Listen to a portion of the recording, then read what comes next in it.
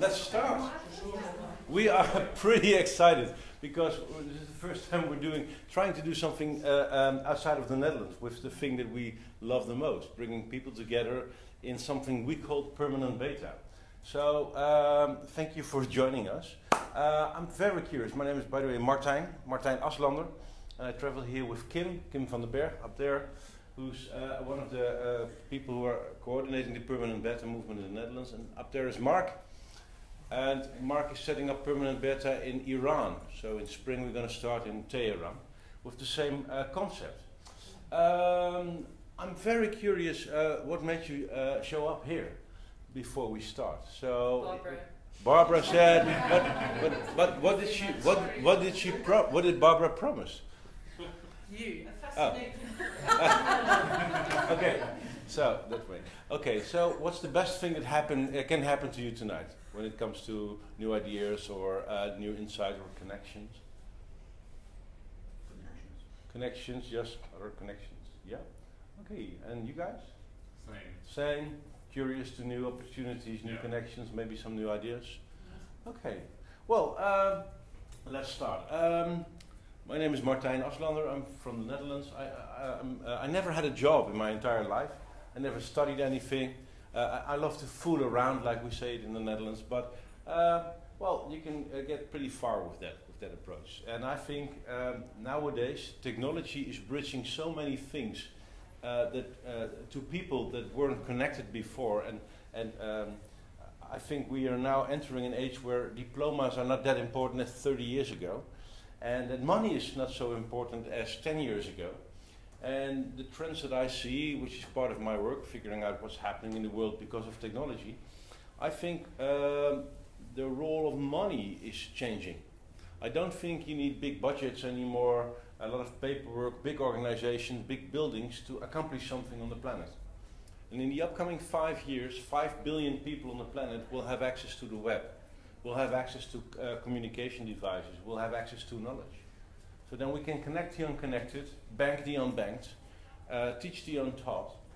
And a lot of cool stuff is happening in the field of technology. Well, I'm not a technologist, so I'm not a tech guy. Uh, I'm very bad at math. Um, uh, I don't know how to program. But what I saw in the past 30 years, uh, because next year I will celebrate my 30th uh, anniversary as an entrepreneur, uh, and this was the age where we just, uh, when I was 15, we only had the first computers with the, the big floppy disks, uh, and then we had a smaller one, three and a half inch. And every year, the technology evolved further. I, as an entrepreneur, uh, um, was helped by this technology to do more in less time, with less stress, at lower cost with more impact. So every year technology made it easier for me to get things done. And suddenly, after doing that for 10, 15 years, it dawned to me that, that this is really empowering everybody on the planet and is changing the entire power mechanisms in our society. So this is where I come from. So fooling around with technology, trying to set up businesses, not, not, not per se to make money, but because I think it's fun to, set, to create something and set things in motion. So now I travel the world, uh, speak with a lot of governments, companies, uh, but also with the people on the street. And four years ago, we founded something in the Netherlands called Permanent Beta. And it doesn't have anything to do with, uh, with uh, science or math, uh, but Permanent Beta is uh, a, a beta is a phrase that's being used by software developers for something that they are creating, but is not finished yet. So I don't know who of you is using Gmail. No, what? No, Gmail? Yeah. So eight years ago, in the, in the, in the, beginning of, uh, of the introduction of Gmail, it was not finished. They said this is the beta release, and by that they meant we created something nice. You can use it, but we're still working on it.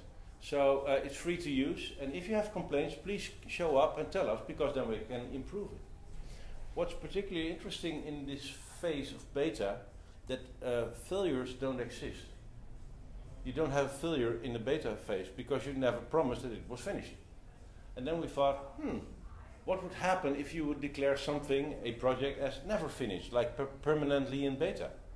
Because technology is evolving so fast and the pace is evolving even fa- uh, faster that I think the world is moving so fast that the time for making plans uh, is well is changing because uh, uh, as soon as your plan uh, is finished, reality already uh, changed. So you can work on a plan for half a year, and then you think, well, now, now we're done, and then suddenly something happens on the web, like Pokemon Go or something really important, and then, whoa, oh my God, this makes my whole plan obsolete. I have to go back to the drawing table to redesign my, my projects and processes. Um, I wrote a book about it last year in the Netherlands with uh, Erwin about what does this mean for education, for society, for healthcare if you would take this approach. And um, we also see that, that the big challenges uh, on a mankind level are most of the time solved in the combination of uh, brains, tech, and culture. So it's design, it's technology, it's a, a playful approach. So how does that work? Well, nobody knows, of course. So there's only one way to find out, and that is uh, trial and error. So we did a few assumptions that we tested three years ago in the Netherlands with the permanent beta movement. And one of the biggest assumptions was that there, every day uh, there's somebody in a pub in the Netherlands at 3 o'clock at night talking about something he's really passionate about to a, a total stranger. It could be drones, it could be biohacking, it could be uh, the, uh, the implementation of the basic income for everybody. It's a discussion we have in Europe with a lot of people. Um, and what would happen if you would invite those people that are really passionate about a, subject uh, uh, uh, on a stage in a building that you can uh, access for free? I don't know what it's like uh, in, in South Africa, but in the Netherlands, 30% um, of all the office buildings is empty. They don't have rent people who rent it, so we have too many buildings, and they're empty. And if you phone the owner, and you said, "Can we use your building for one evening?" they, they most of the time say, oh yeah, that's fine if you do something that is beneficial for society. So we started a movement with a, a, a funny set of playing rules. We said, let's unorganize meetups without the use of money. So without the use of sponsorships, we just say if there's no money involved, we just start and see what happens. And uh, we invite people who are passionate about uh, topics that we think are uh, uh interesting uh, for solving puzzles in society. If we can bring them uh, uh, in a space and we don't need money to organize something, it doesn't matter how many people show up. Because if you uh, throw a lot of money in an event and uh, nobody shows up, it's a disaster or from a financial perspective. But if you don't need money at all, it, uh, when somebody shows up, it's a success. So this is a huge success in the way we, we uh, look at new um, events. So we just started in the Netherlands in a building from the Chamber of Commerce. I don't know if you have them here as well, Chamber of Commerce. So they had a, a, a, a pretty uh, big space that was empty. So we got the keys somehow. We said, "Can we have it?" And they said, "Oh yeah." So we took our sleeping bags and uh, there it all started. We we slept there because we could. We had the keys. So now we, we, say it's the sleeping chamber of commerce. And in the Netherlands, in Dutch, the bedroom is called slaapkamer. So sleeping chamber of commerce was like funny to us.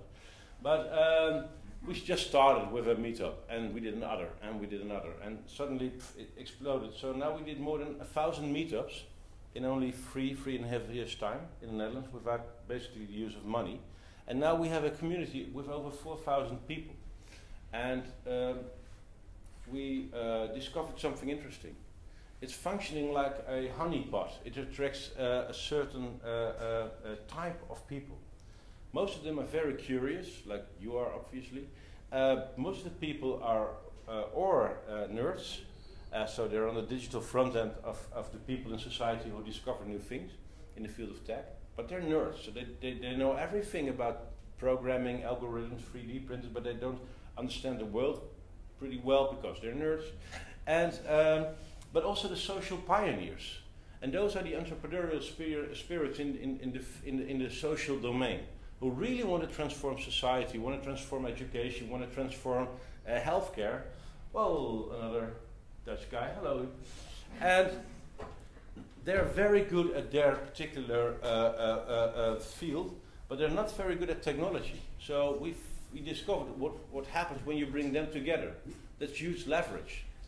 Um, and now we see that a lot of uh, organizations, governmental organizations, big companies, are throwing a few hundred thousand dollars on an event to make something happen, well, they don't really need that money because it, uh, when I look at our events, uh, we have events with five, six, seven hundred uh, participants, 50 speakers on one day, no money involved.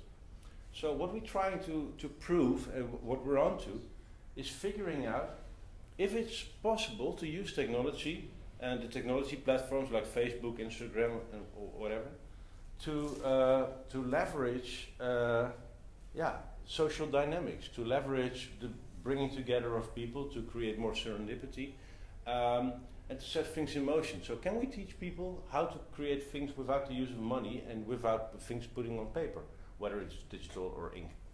Um, so, this is one of the reasons why, why we thought let's go to uh, South Africa because I think if you can empower uh, uh, a lot of people, especially young people, to do something and to make things happen, you can teach them that you don't need a, a very expensive uh, diploma to maybe get a job, while you can empower yourself through uh, your network and through all the knowledge that's already there.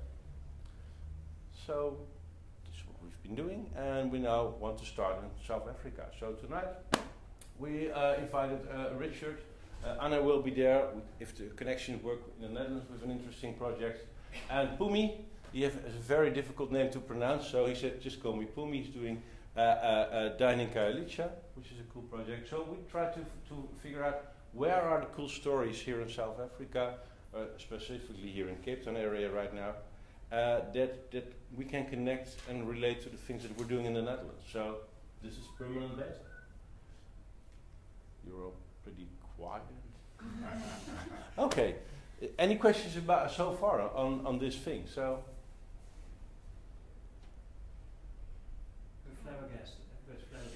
I, I, don't, I don't know. I don't know your culture good enough. I don't know how, how people respond normally or uh, how this part of your behavior is. But um, um, does it resonate somehow? I, I have no idea. The question is how.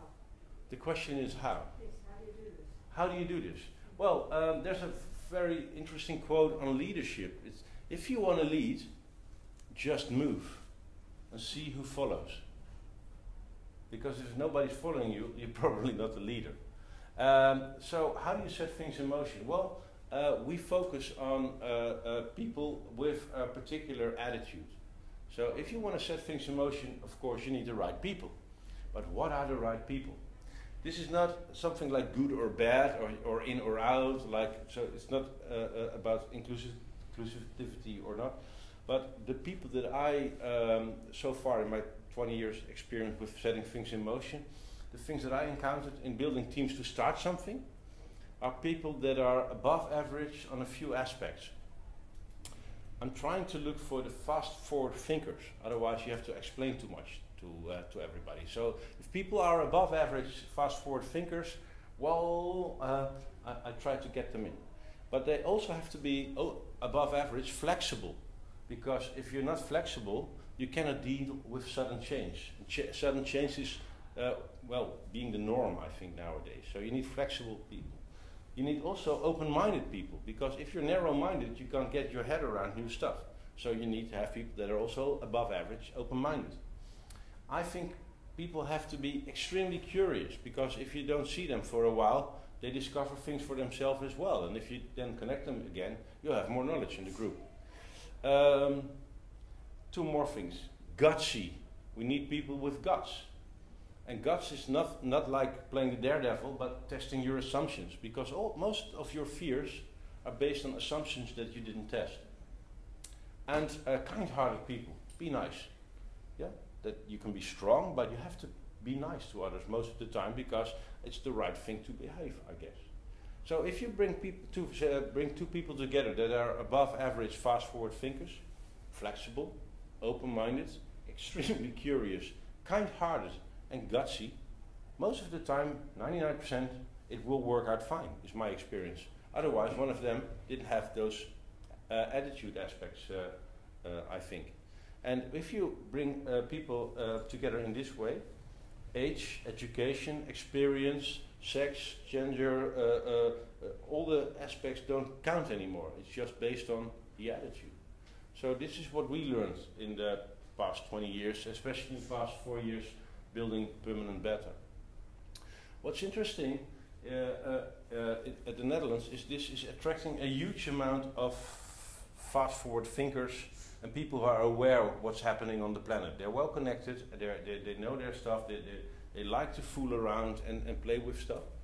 And suddenly, um, the army, uh, governmental organization, uh, uh, big corporates, discovered that uh, it's no use to throw a lot of money to a consultancy firm who are actually you're paying them to write down what your employees try to, uh, to tell you for the last few years. Uh, you can go to this community that are happy to help. So they don't do consultancy, but they have a lot of ideas and a lot of networks to contribute. So it's, it's already bypassing classical advisory organization, consultancy organization. And uh, somehow it works. I don't know exactly what it is that we that works, but I think the lack of money is actually a benefit.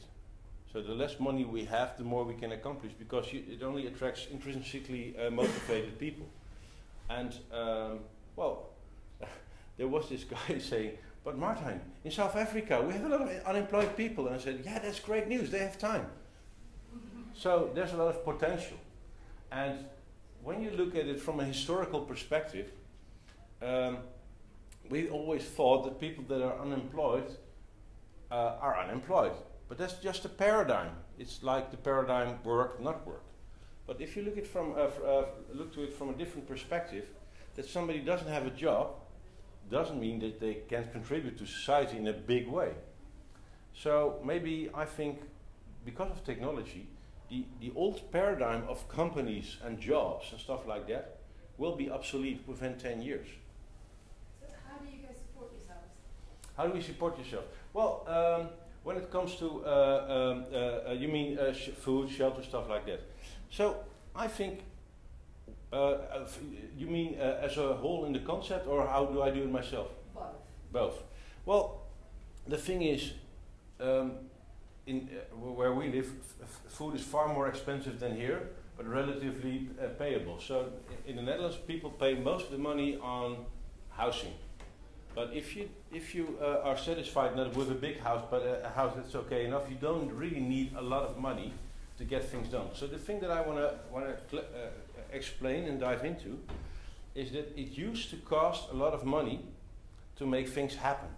You needed maybe a car, a fax machine, an office, uh, uh, uh, a lot of stuff to get things done because you have to position yourself as a company or whatever.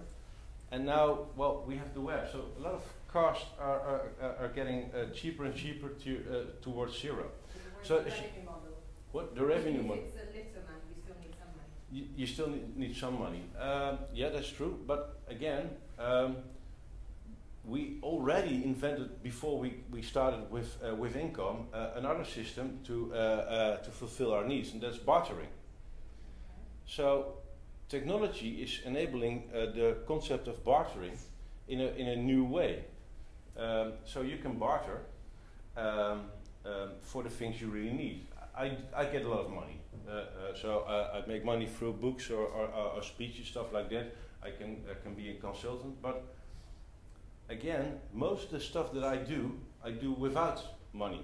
And I think um, if you use those tools and those insights and those networks, that it's easier for you to get what you need, your, uh, even your basic needs, when you compare it with the people who don't have this knowledge, these networks, and those insights. And where technology is going, so the expectations are within 15, 18 years, electricity will be free worldwide. Yeah, the, the cost of solar power cells are dropping so fast and the efficiency is going up so fast that effectively within 18, 20 years, worldwide electricity will be free. When that is free, you're already solved the drinking water problem because you can power the machines you need to, uh, to turn brackish and saltish water into fresh water. You can uh, work, uh, make them work for free as well. So once you solve electricity and fresh water, you solve hygiene, healthcare, uh, you solve, I think, the production of food. Because if you have electricity and you have uh, water, you can solve nutrition. So this is what's happening in the field of technology, the stuff that we're discovering all of the time. uh, right now. So I, I don't see uh, stuff like food, electricity, connectivity, uh, shelter as a problem that is won't be solvable within 10, 15, 20 years worldwide. So uh, I don't know if you know uh, the book of Peter Diamandis on abundance. Uh, Again.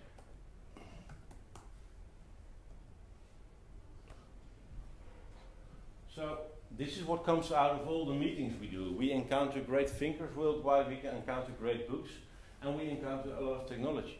So when you look at it, um, because of network effects, uh, ideas, uh, insights, solutions are being provided faster than ever worldwide. So uh, again, within five years, um, um, five billion people on the planet will have a smartphone. That's only five years. So then you can, can connect them with each other, and they will join the worldwide hive mind of people with ideas. You need only one guy with a, a partial, partial solution for something that another one can build on, and another one can build on that. And that's happening all of the time. So, where technology is heading is solving most of the big mankind questions, uh, especially in the field of poverty. So, this is why I'm so enthusiastic about bringing insights on technology to the world. So, it's not about technology, it's about what technology can enable to solve worldwide big problems and also doing awesome stuff. And for maybe, that, maybe that's also part of the question is uh, we do stuff with almost no money because everybody donates time or stuff or uh, spaces. So we don't pay for speakers, we don't pay for spaces, we don't pay for actually anything. But sometimes we have to do something like we have a website, it's a website, and you have to pay. how do you fund for all your flights to get here? Oh yeah, that's because we pay it ourselves for because we're Yeah. entrepreneurs. So yeah. Okay, but as an entrepreneurial model, you must get some revenues from somewhere. Yeah. Uh, yeah, but the thing is, we don't need uh, uh, relatively in a community with, uh, with over four thousand people. Well, when you compare it with other models, I, I mean, um, it costs money to travel to here, but it was not that much money, even when you compare it with uh, uh, uh, um, um, how the revenue models in our country work. So it's just a tiny bit of money to, to leverage an entire swarm of people. That you pay from where? It doesn't sound Um, and why do you think that? because you still haven't given me where, okay, it's not much money, but where does that little money come from? Not from the model that you created, so is it funded individually by you Uh, from whatever you had in your personal life that Yeah. is stemming from this system? yes, but I only needed to show up here a few times uh, because I'm here anyway to bring those ideas here. Because uh, um, uh, afterward, if I, I attract the right people here, they can build them themselves. So they, I'm not necessary to make it happen. I can only speed it up a bit. But uh, the model doesn't need a lot of money to make things happen. It just a little bit of money for travel expenses, stuff like that, makes it easier to uh, to leverage it. But that's it. So in the Netherlands, we didn't really need a lot of money because travel costs were no issue there um, to set it up and to, to make it happen. But the core idea about this is not that it's replacing existing models. The core idea is how to figure out how to tap into this surplus on a mankind level, the surplus of time, knowledge, uh, ingenuity, uh, creativity, and uh, figuring out how to use technology to enable that. And then you can, again, you can bypass pretty complex systems, uh, especially when you look at your political system here and how things work uh, nowadays. If you don't need money, you can just go around it and can just start. And the mindset of a lot of people is that you need money to accomplish something, and I think that's not true anymore. And every year that this develops, it's more and more uh, uh, going to that that uh, that way. Interesting example is these permanent beta meetings we have.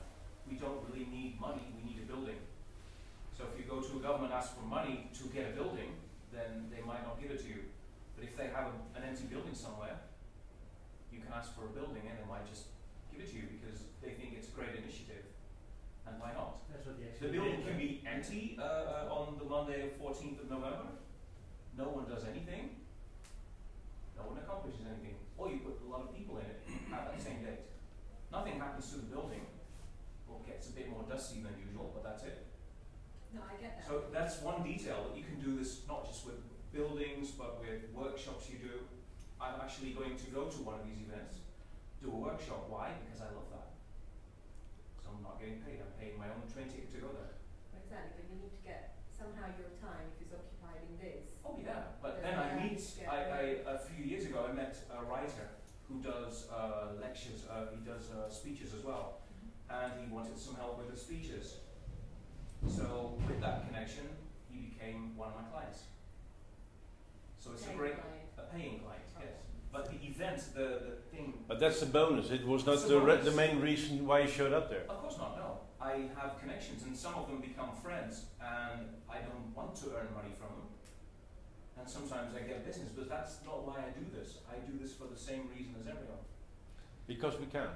Yeah. No, that's fine, so you have your own consultancy that is outside of this, and then this project is all created in a money-free environment, but you do have revenues coming in from other activities. Uh, yeah, but all of the people in our community have several income streams uh, or no income streams at all. But what I see is that the people with the least income streams are the highest motivated to do something good. So in our uh, community, money is not really an issue, whether you have a lot or nothing at all. People just love to connect and to, uh, to, to, to figure out how to bring everything further. Martin, I think that's, uh, the difference is, this is not a job replacement. And I think that's where we are, where we are coming in. This is a, a meet-up, a get-together, a create something. It's not, it's not, let's create, this community is not a job, No. it's a get-together. Yeah, but for most of the people who contribute a lot to the community, they, they discover new stuff that is awesome to them. They, they, they, tr- they get trained in new stuff that they would never uh, have access to any uh, where, uh, time before. They get access to spaces that they could never entrance, uh, uh, uh, enter before because they weren't aware of it. So it's, it's connecting brains, tech, and culture, people, information, and ideas. And those are the, the, the resources I think that are becoming more and more valuable in this network and information age. The old post-industrial paradigm was uh, uh, career, money, diploma, stuff like that, to uh, to grow and develop. And I think nowadays uh, this stuff is spreading like wildfire. I mean, half a billion people in only three months' time started to play a game called Pokemon. You can laugh about it, but half a billion people doing the same stuff simultaneously within three months, that is huge. And this is just a game. So can you imagine what would happen if, if they would only add something when it comes to medical research or something that society actually benefits from besides, well, there was one thing. Playing Pokemon was very good for kids who, uh, were obese because the, the, in the game there was like this forced, uh, uh, um, um, uh, forced, how you call it, um, um, Incentive. uh, incentive to walk outside on the streets. You couldn't do anything on the a- uh, on your phone. Then you had the, the, the Pokemon app open. Otherwise, you couldn't catch Pokemons. So the game forced kids to go outside and to play and to walk, which is good from a health perspective. But I, I, I, I predict that the next big thing in this field will be something where one billion people can contribute to uh, on a mankind level. So from another perspective, when you look at organizational concepts, we we are uh, leaving the age of big hierarchy structures uh, that, that, that, that brought us bureaucracy and everything that, that comes with it. Um, you also already saw last 10 years the, the, up, the rise of network organizations. So we're going from organizations to network organizations. But after network organizations, I, I predict we will operate in networks. So this is this basically permanent embedded. It's operating like a network, not like a network organization, but like a network. But after networks, we will see swarms. And technology is enabling us to function in swarms. Wikipedia is nothing more than social swarm technology. 100,000 people joining together for whatever reason to contribute to the best uh, encyclopedia that mankind has uh, had so far. With almost the, uh, uh, no use of money, relatively spoken, they, they did something big. But when you look at, like say, the United States are watching, I think, uh, two billion hours worth of television annually, doing nothing, like consuming information. what would happen if they would create information contributing on a mankind level? So there's this guy Clay Shirky who wrote the book uh, The Cognitive Surplus. And, and he said, what would happen if we can tap, with all this technology, tap into the hive mind of mankind to, to create stuff or solve stuff?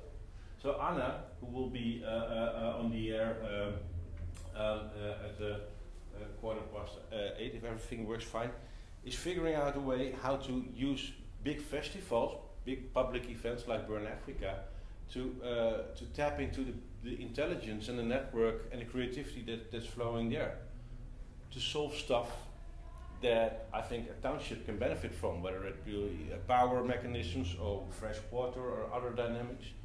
And I think those are interesting ideas, and this is what I want to spread in the world to whoever wants to listen. So, we, yeah, like tonight, we just have to start and see what happens, and then do another one, another one. And uh, with my experience, uh, in my experience, it takes 10, 15 meetups, and then something will grow out of it or not. But one way to find out is trial and error. Okay. Can, can I ask you uh, um, a question? We are uh, surrounded by townships where there's a lot of people unemployed, there's a lot of potential there. Can you reflect a little bit on how to uh, tap into that potential?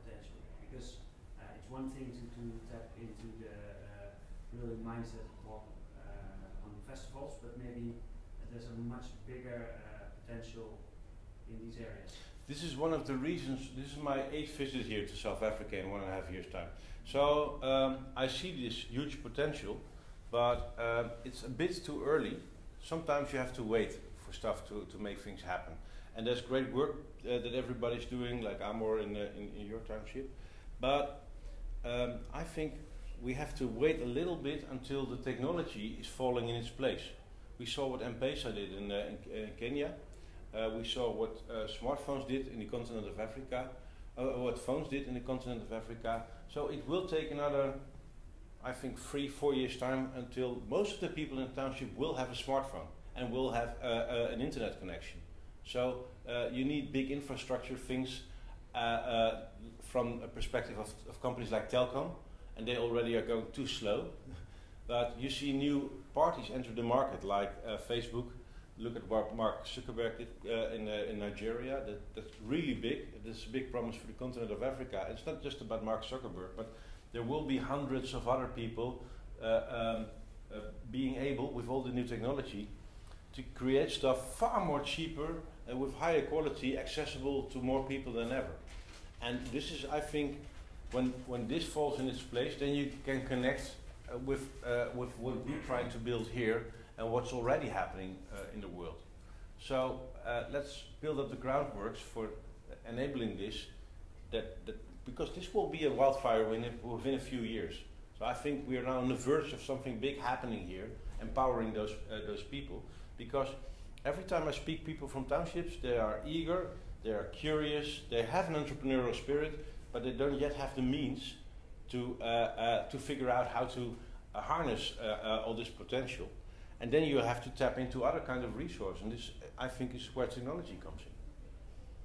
So, but I'm I'm I'm I'm 100% positive that within five years, smartphones will be free for everybody on the planet, because the cost of making them is is so uh, low. I'm not talking about iPhones, but but the, the low end models that it's cheaper to give them away because you benefit from it as the party who gives it to you. It's like participating in, in, in medical research or whatever, or spatial research than actually wanting people to pay for it. So this is where technology is heading, is my uh, assumption so far on based on what I saw the upcoming file. So, yeah. So it's just about building the right infrastructure and getting the right people together on a non-commercial basis. And uh, I know there are a lot of companies uh, and organizations trying to do the same but most of them are focused on one topic, or are NGOs, or are political, or, uh, or they're in the startup business or want to make money. So we are exploring the other path. And I have no idea if it's the right path, but it's worth trying. I think your timing was out though. I don't think it's going to take five years. What we see in Philippi, in our library, where we traffic 6,000 people per month, 50% of those kids below the age of 12 not the most fantastic type. No, it's but they're connected. they So it's happening. The biggest issue is broadband. Broadband. They need access to, to broadband, but because it's free in the building, that's where you see the kids swarming already. So that movement is already happening. Yeah, it's a big one. So um, uh, actually, I, uh, uh, you asked about my income streams. Uh, one of the jobs I do is I advise the board of Telkom, and I'm trying to come to. They never. In I- my first meeting, this is being recorded by the way. Uh, in my first meeting with the board of Telkom, they didn't actually see uh, um, um, townships as a potential market. They just they, they, they never thought about it as a potential. And I said, hmm, uh, there are more. There's plenty of room at the bottom. There are more people in townships than than uh, than, than there are the rest. So maybe you have to rethink your uh, your business models and figuring out a, a way how to give away broadband for free, and figuring out a way how to make money out of the fact that you're giving it away for free. And uh, they're trying to figure it out now. I know, I know that because I advised them. So uh, there's hope.